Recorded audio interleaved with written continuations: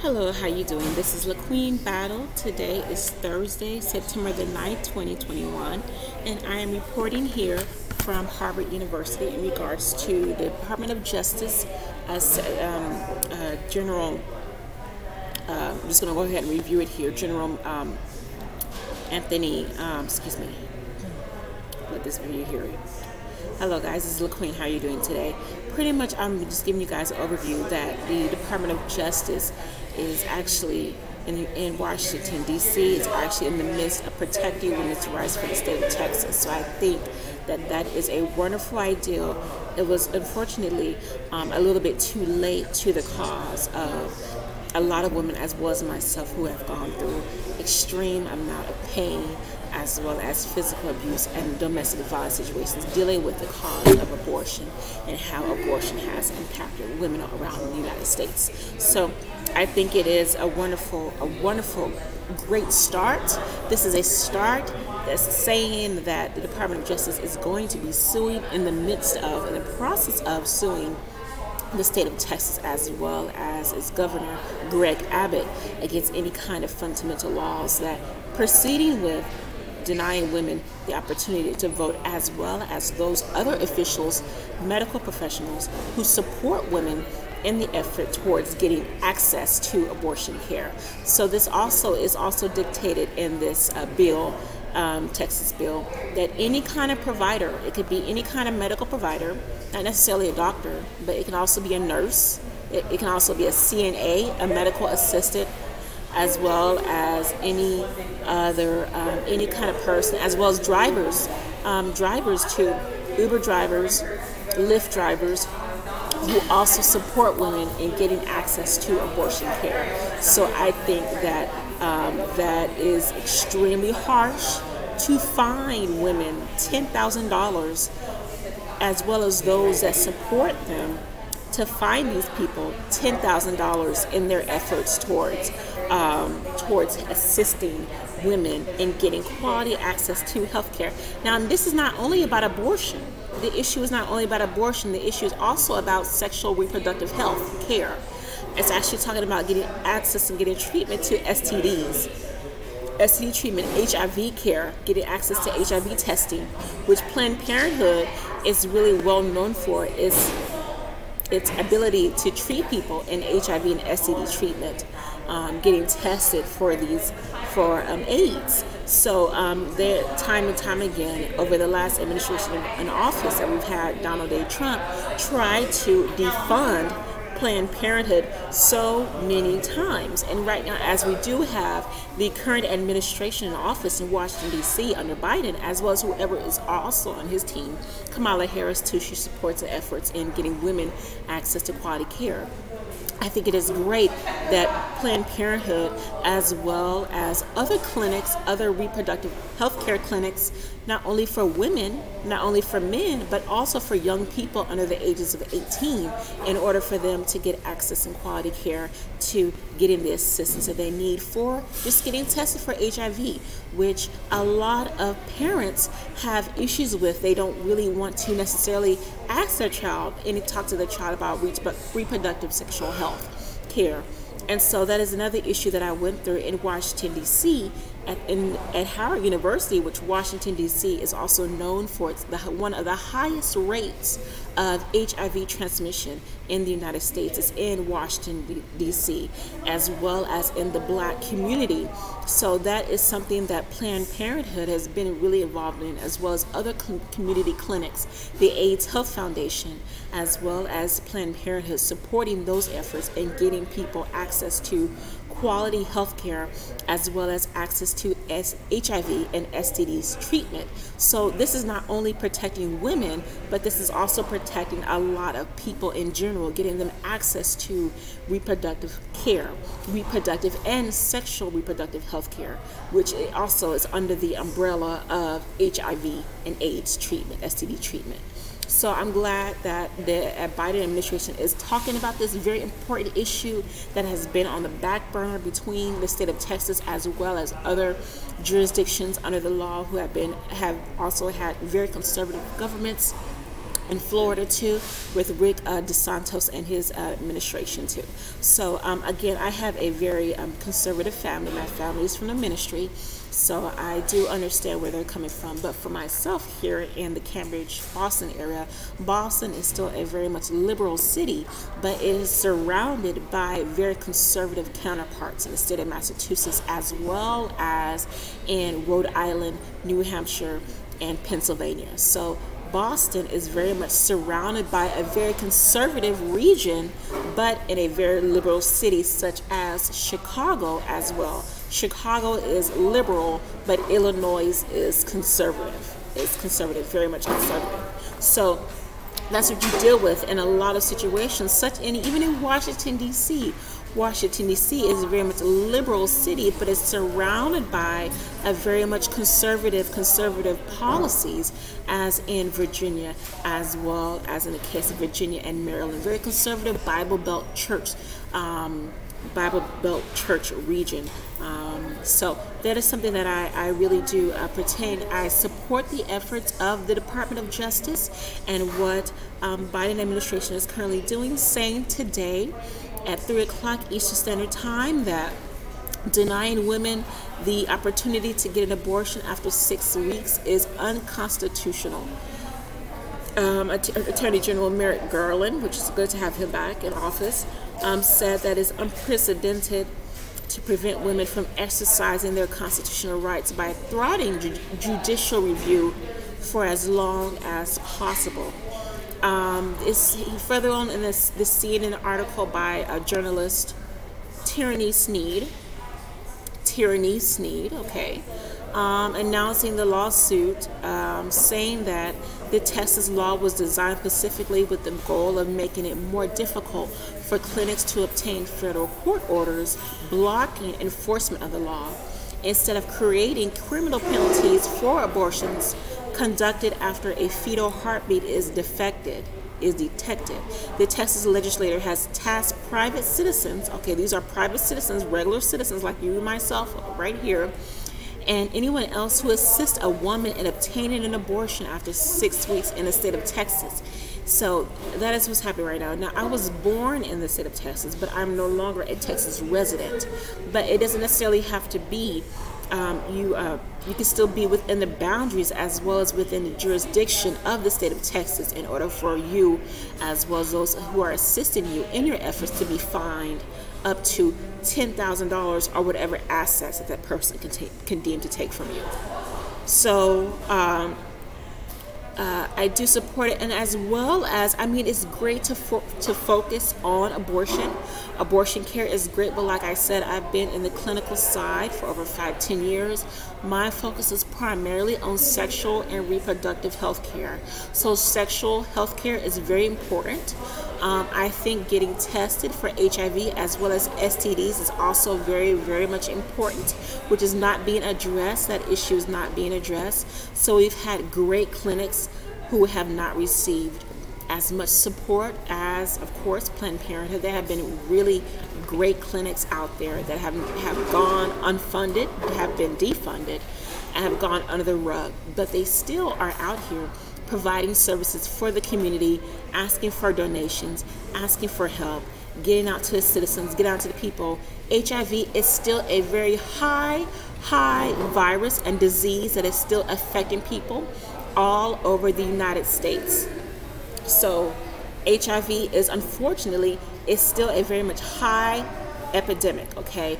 There have been more people infected with HIV AIDS over the pandemic than have been with the COVID 19 uh, coronavirus. So, unfortunately, that has not been talked about in the social media, even with Biden as well as the previous Trump administration, that HIV has been put under the rug uh, under under the focus that COVID-19 virus has. So as a, as a person in the cl clinical side, I would encourage you guys to still get tested for HIV STDs as well as take care of you and yourselves and your loved ones. If you are going through any kind of domestic violence or situation out there, reach out to yourselves or your loved ones and your friends and families. This is a very emotional time for myself as well.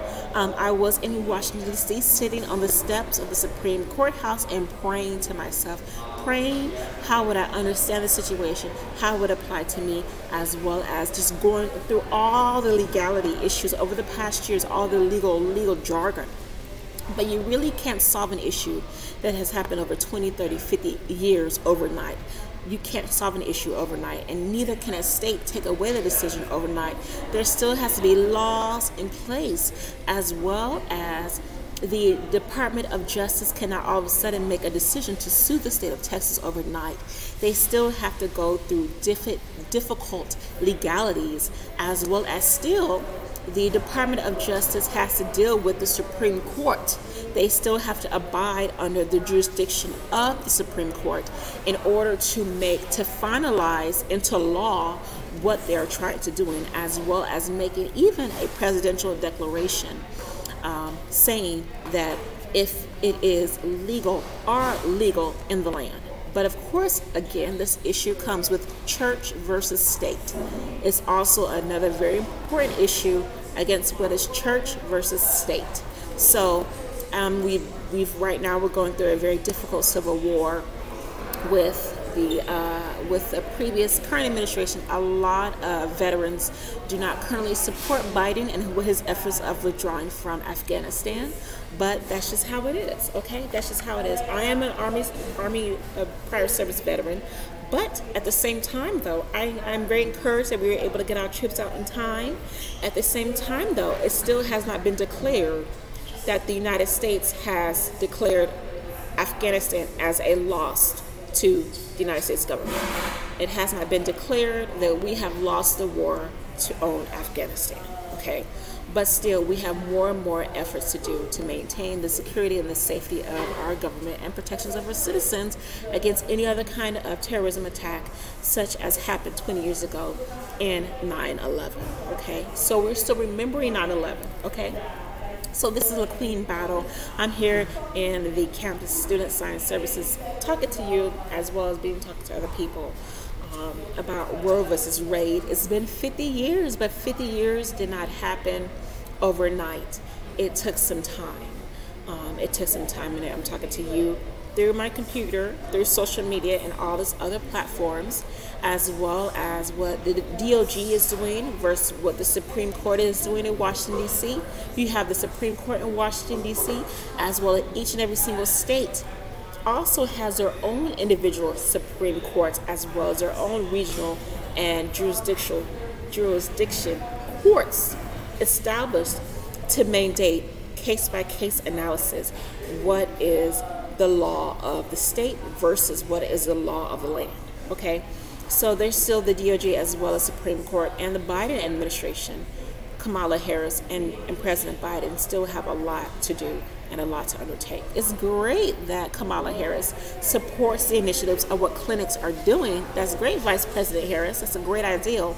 But at the same time, though, we still want to encourage reproductive health care as well as sexual health care too. Okay, sexual health care. STDs and HIV testing. Still encourage STDs, HIV and STD AIDS testing. Okay. All right. So um, it says here currently in the um, CNN article, the Supreme Court's in DC's refusal to stop the law from going into effect caught Justice Department officials by surprise According to a DOJ official, since every other similar similar restrictive law has been blocked. Um, today, Garland, um, Attorney General, I mean uh, General Garland, said that the Texas law infringed upon the activities of the Labor Department, Defense Department, and other federal agencies. Specifically, the DOJ said in the lawsuit that Texas law exposes federal personnel and grantees to liability for carrying out their federal obligations to provide access to abortion related services to persons in the federal government's care.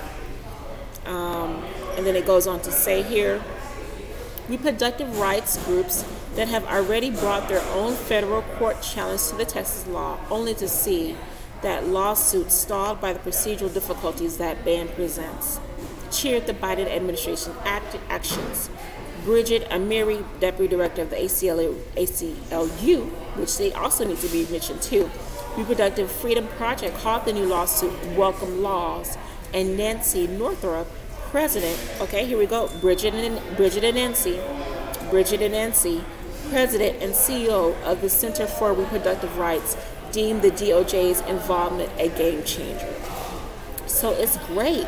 Again, again, um, Attorney General Garland on Monday, Monday's briefing, had pledged to protect abortion clinics in Texas by enforcing a federal law that prohibits making threats against patients seeking reproductive health services and obstructing clinic entrances. That's a great idea. That's a great idea, but still encouraging encouraging sexual sexual health care too, okay? Sexual and reproductive health care which also needs to be addressed too, since we are in the midst of dealing with recovering from this COVID 19 pandemic. Okay, so this is LaQueen Battle, certified medical assistant, first aid, adult pediatric first aid, coming here from Harvard University's campus. It's great that the, that the Department of, of Justice is doing a great job saying that we support the initi- initiatives of reproductive lobbyists in DC. It's great to lobby. It's great to lobby. It's great to have people in your corner. It's go, It's great to go to rallies. It's great to have women wear hoods protecting, you know, saying we uh, support women's rights. I mean, it's good to get all dressed up, but at the end of the day, you are still at home. You are still isolated in your situation. You are still alone and you are still scared.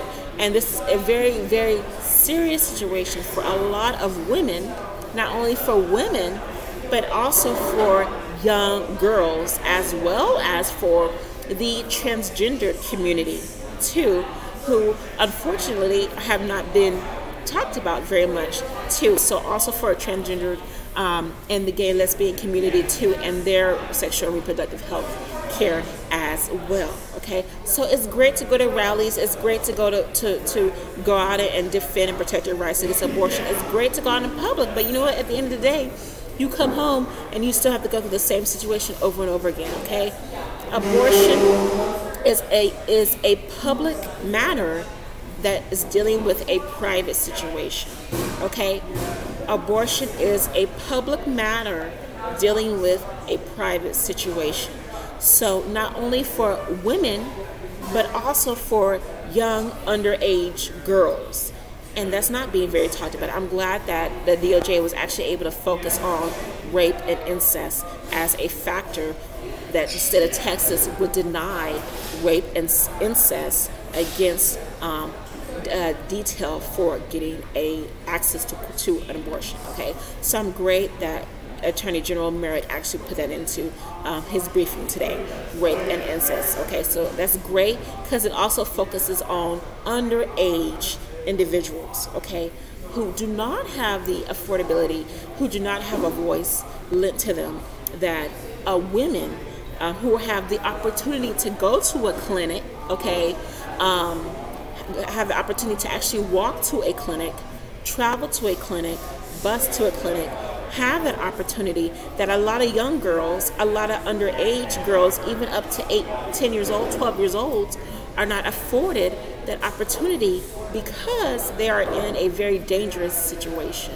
And so their only access is, of course, either getting treatment services at emergency room in a hospital or going through a personal family friend or, or close friend or relative and usually most of the times that is in a very dangerous dangerous situation so I'm glad they actually talked about rape and incest too as well. So okay, that's great. And uh, today was a good idea to go out there and discuss. You know, of course, um, the Department of Justice talking about abortion, abortion care. Roe versus Wade is going on into its 50th, 60th anniversary. That's great, but we still have a lot to do with going over the Trump policies. I'm here at Harvard University in Cambridge. A lot of young people are emotional about the situation, as well as talking and discussing this is the same issue with a lot of young people. And still, I'm here in here in Boston, being told to, of course, I'm a single individual, being told to, you know, I'm single, I'm a black female. What's my job? What's my job? What's my job? What should I do? What's my job? You know, so um, it's just, I pretty much get, you know, assaulted every single day, but I still have an opportunity to still make a difference in somebody's life. Somebody's life. So I'm talking to you guys right here on the computer screen via social media, as well as all my Facebook groups, all my other social media groups, and dealing with the issues that pertain to us. Okay, so abortion is not only a woman's right, but it's also a young child's right too, as well. Okay, especially dealing in situations with rape and incest, as well as abusive, abusive domestic violence situations. Okay, domestic violence. So, um, which is which is not really being talked about too. It needs to be addressed too as well. So anyway, today it is 4:45 here in the East Coast at Harvard University campus. I'm in the midst right now of, of trying to get published through the American Psychological Association. So I'm going to finalizing my first second publication through the American Psychological Association. Okay, talking about low enrollments for Ivy League institutions as well as pertaining to how it pertains to COVID 19. So great. And then I'll continue to work on my publications from there. Okay? All right, so this LaQueen Battle, I have a lot to do. Um, I'm, I'm trying to write. Um, Harvard University is a great, great place to network and meet with people. But again, you know, you know, I'm, I'm pretty much really going to talk about it and discuss it a little bit more. Abortion is a public issue that is dealing with a private matter. Okay? Abortion is a public issue that is dealing with a private matter. Okay? So, it has become public because it's becoming out of the shell and it's been made more a legality issue, a religious issue, but people have been having abortions for thousands and thousands and thousands of years. There's nothing new under the sun. There's nothing new under the sun. It's old. But we still have to continue to update the laws and update the legislation and continue to support updating, keeping current laws in motion. Not only Roe versus Wade, but also the Civil Rights Act of 1956, as well as the Voters' Rights Act of the 1950s. We still have to continually update and to continually keep those laws in motion to make sure those same laws that applied in the 50s apply to today. Those laws, when we make laws, those laws expire. They do expire. So we also have to keep updating, keep in transition, making sure that these laws are also kept up to date with what is going on current in millennial Gen X society. I'm a Gen Xer too. So anyway, okay, so this is LaQueen Battle, by the first aid responder services. Again, again, abortion is a public issue that is dealing with a private matter. Okay? It is a public issue that is dealing with a private matter. Okay? So there's a lot that needs to be talked about it and discussed as mom. You know, it could be church versus state, it could be a religious issue, it could be a sexual reproductive health issue, it could be a marriage issue, it could be gay rights equality issue, it could be whatever kind of issue you want it to be. But again, it's a public issue dealing with a private matter. Okay, a private matter. So uh, you can talk about it as much as you want to, but at the end of the day, that person, that individual, either a male or a female, has to go home and face their decisions. Okay, face their decisions. Okay, the decision and the choice that they made. Okay, I decided to abort this child. But I decided that I wanted to go to the abortion clinic with my partner. Okay, so there's a lot to be made in it. Okay, as well as dealing with the gay and lesbian and transgender community. Okay, to male to female. They were born female, but they've changed over to men, and so now they're having transgender people are now having children. Okay, so it's also that choice where I'm transgendered, I, I got pregnant, but I don't want to carry this child. So it also has to do with lay as gay as well as le- lesbian and transgender, the gay and lesbian community rights too as well. Okay, so there's a lot that's intermingled with it. There's a lot. But again, I'm going to say one more time abortion is a public issue dealing with a private matter. Okay? It's a public issue dealing with a private matter. Okay? You can talk about it as much as you want, but at the end of the day, it's one person's decision. Okay? It's still that one person's choice. Okay? All right, so this is LaQueen Battles to encourage you guys to go out there and get tested for HIV STD treatment and pretty much do what you can.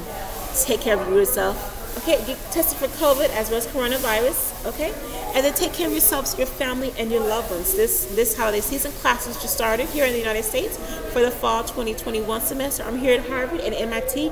Classes have started right now. It's in motion. They're doing about, but again you know, take it step by step, take it day by day. Okay, this is LaQueen Battle about First Aid Responder Services. I love you guys. Continue to keep me in your thoughts and prayers. Please donate PayPal, Cash App, Venmo, as well as um, uh, you can reach me email battle first aid battle first aid at icloud.com. That's B A T T L E, the number one S T at icloud.com. Again, let's say it one more time. Abortion is a public issue dealing with a private matter. You can be pro choice, you can be pro life, you can be whatever. But at the end of the day, it's a public issue dealing with a private matter. Okay? All right. God bless you guys.